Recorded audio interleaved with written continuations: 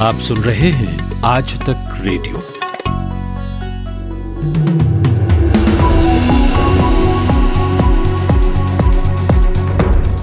नमस्कार, दोपहर एक बजे के बुलेटिन पाँच मिनट में आप सभी का स्वागत है। मैं हूँ माधुरी। देश भर में कोरोना के तिरासी हज़ार से ज़्यादा नए मामले सामने आए, जिससे संक्रमितों की संख्या उनतालीस लाख छत्तीस हज़ार के पार पहुँच गई है। हालाँकि राहत की बात यह है कि इस दौरान छियासठ हज़ार से भी ज़्यादा लोगों के ठीक होने से सक्रिय मामले इक्कीस दशमलव ग्यारह प्रतिशत रह गए हैं। स्वस्थ होने वालों की तुलना में संक्रमण के नए मामले ज़्यादा होने से सक्रिय मामले पंद्रह हज़ार पाँच सौ छियासी बढ़े हैं।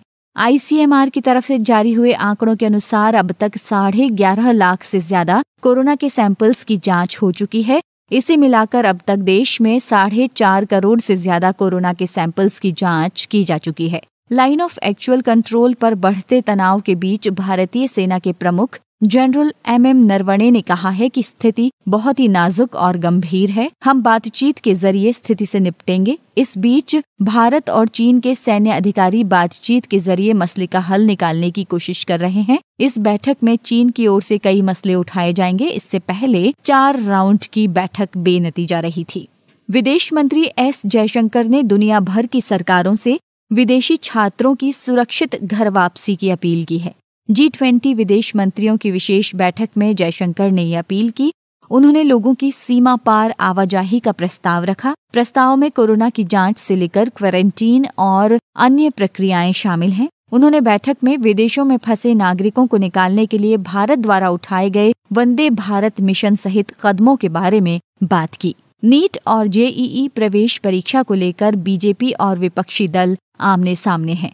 विपक्षी पार्टियों ने परीक्षाओं को स्थगित करने की मांग करते हुए सुप्रीम कोर्ट तक मामला पहुँचाया है। छह गैर बीजेपी शासित राज्यों के मंत्रियों ने परीक्षा कराए जाने को लेकर सुप्रीम कोर्ट के आदेश पर पुनर्वि, सुप्रीम कोर्ट के आदेश पर पुनर्विचार याचिका दाखिल की है। इन याचिकाओं पर आज सुनवाई होनी है। आपको बता दें कि कोरोना वायरस महामारी को देखते हुए परीक्षाएँ स्थगित करने की मांग को लेकर दी गई दलीलों को खारिज करते हुए सुप्रीम कोर्ट ने परीक्षा पर रोक लगाने से इनकार कर दिया था। उत्तर प्रदेश के लखीमपुर खीरी में तीन साल की बच्ची की लाश मिलने के मामले में पुलिस ने बड़ा खुलासा किया है। पुलिस के मुताबिक बच्ची के साथ रेप करने के बाद उसकी हत्या कर दी गई थी और लाश को गन्ने के खेत में फेंक दिया गया था। तीन साल की बच्ची बुधवार को अपने घर के बाहर खेल रही थी, जिसके बाद से वो लापता हो गई थी। वहीं अब तक इस मामले में किसी की भी गिरफ्तारी नहीं हुई है। सुशांत सिंह राजपूत की मौत से जुड़े मामले में जाँच के दौरान रिया और उसके भाई शोविक चक्रवर्ती के घर किसी भी तरह की ड्रग्स बरामद नहीं हुई हैं और उनके घर से सिर्फ़ इलेक्ट्रॉनिक डिवाइसेस को सीज किया गया है। कांग्रेस ने जीडीपी में भारी गिरावट और बेरोजगारी को लेकर सरकार पर देश को आर्थिक आपातकाल की तरफ़ धकेलने का आरोप लगाया है और कहा है कि इस आर्थिक तबाही के लिए वित्त मंत्री निर्मला सीतारमण को खुद इस्तीफा देना चाहिए और फिर प्रधानमंत्री नरेंद्र मोदी को उन्हें बर्खास्त कर देना चाहिए।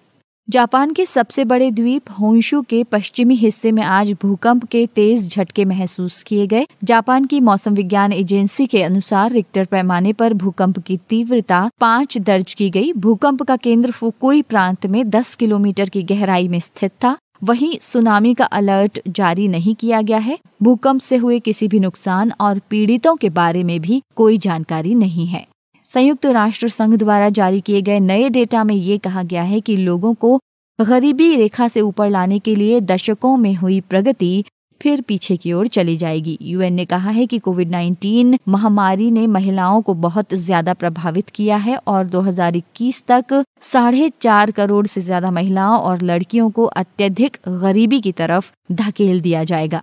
इसराइल के प्रधानमंत्री बेंजामिन नेतन्याहू ने यूएई को हथियार बेचने की अमेरिकी प्रशासन की योजना पर निजी रूप से सहमति जताई है। नेतन्याहू कार्यालय ने अगस्त में एक बयान जारी करके कहा था कि इसराइल यूएई शांति समझौते के तहत यूएई में अमेरिकी हथियारों की आपूर्ति पर इसराइल की सहमति शामिल नहीं थी। भारत के टेनिस खिलाड़ी सुमित नागल, दूसरी वरीयता प्राप्त और विश्व के तीसरे नंबर के खिलाड़ी ऑस्ट्रिया के डोमिनिक थियम से गुरुवार को लगातार तीन छः तीन छः दो छः सेटों में हार कर यूएस ओपन टेनिस टूर्नामेंट से बाहर हो गए हैं।